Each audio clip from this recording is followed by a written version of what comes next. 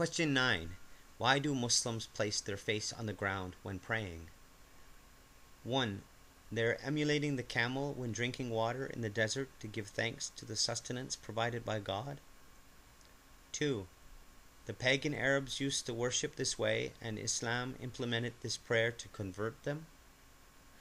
3. The prophets taught this form of worship. 4. To represent kissing the Holy Land to sanctify their relationship with God's earth.